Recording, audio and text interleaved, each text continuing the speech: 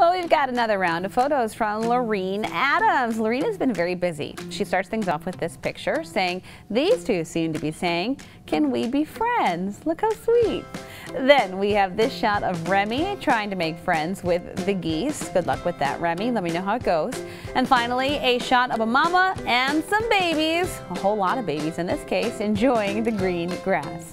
Well, if you have a picture that you'd like to share, you know what to do. Send us an email, yespics at fox47news.com.